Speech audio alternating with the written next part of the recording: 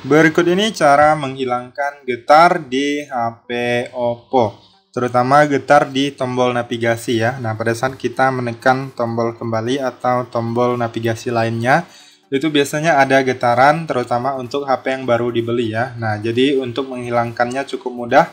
Teman-teman silahkan simak aja video ini hingga selesai. Nah langkah yang pertama silahkan masuk ke pengaturan. Lalu di sini teman-teman silahkan klik di bagian suara dan getaran Nah, selanjutnya di sini teman-teman bisa lihat di sini ada yang namanya bergetar saat berdering bisa diaktifkan ataupun dinonaktifkan. Kemudian selanjutnya di sini ada di bagian uh, haptik ya. Nah, ini dia haptik. Nah, ini kalian matikan aja nanti tidak akan ada lagi getaran di tombol kembali ataupun tombol navigasinya. Nah, sudah tidak ada. Kemudian apabila ada bunyi, kalian bisa klik di bagian bunyi lainnya.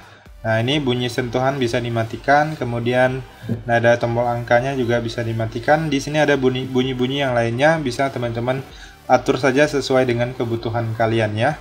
Oke, itu saja teman-teman untuk cara menghilangkan getar pada tombol kembali ataupun tombol navigasi HP Oppo. Semoga bermanfaat dan sampai jumpa di video berikutnya.